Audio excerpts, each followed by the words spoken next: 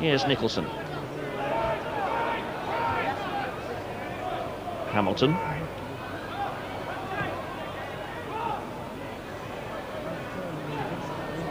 Sneekes, tries the shot. Oh, it's a. Oh, look at that! It's already in.